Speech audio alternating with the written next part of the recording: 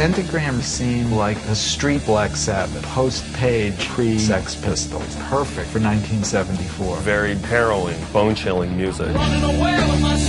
They've really come so close to making it, and they blew it.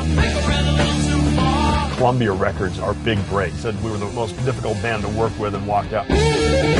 From artistic standpoint, bravo. On the other hand, everyone that's been with you has walked away over the years or fled in terror. I haven't talked to Bobby in over 20 years. Bobby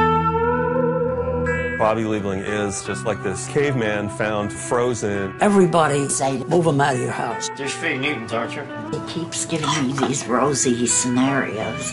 What I want for Bobby, just for him to be happy. They're afraid I want him to die.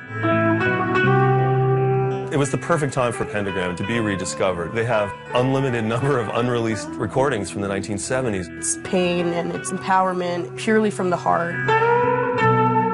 I was obsessed with this band. It literally changed my life. I really think that you guys can come back together and do a great record. I've been doing drugs 44 years. I've been addicted to heroin for 39. You know, I want to do, I want to live. There's certain personal things that are keeping him from going all the way. Help me. I'm in prison again. He's been close to death ever since I've known him. There's putting gray in my beard. What do you want me to do? Conquer the world overnight?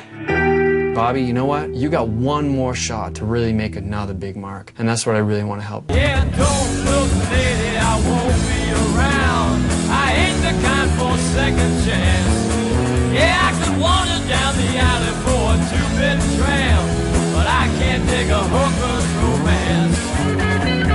Bobby made that deal with the devil. He sold his soul, and he's fighting like hell to steal it back. I've gone beyond the deposit. I've been spent my own money on this. I'll do whatever it takes to make these shows happen. You see the band take the stage. The guy next to me is biting his lip. There's something missing. Where's Bobby? He can't back out. I'm sick of hearing people say it's too late. It's never too late. It's weird, isn't it? They're all my moms.